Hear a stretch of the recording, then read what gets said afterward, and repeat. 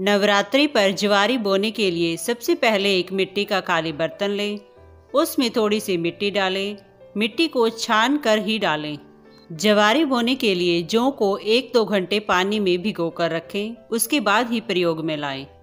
अब हम जौ को मिट्टी पर फैला देंगे और उसके बाद थोड़ी सी मिट्टी उन जौ के ऊपर से वापस से डाल देंगे ताकि जो बिल्कुल भी दिखाई ना दे।